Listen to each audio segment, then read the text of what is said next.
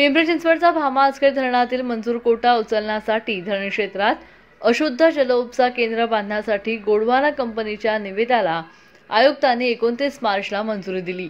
राजकीय आक्षेप आणि महत्वाची माहिती दडपवल्याचा कंपनीवर आरोप आहे.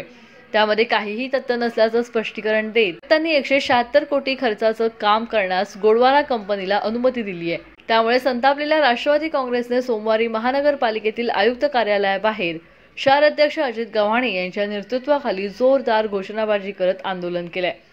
तसेच आयुक्तांना निवेदन देखील दिलंय.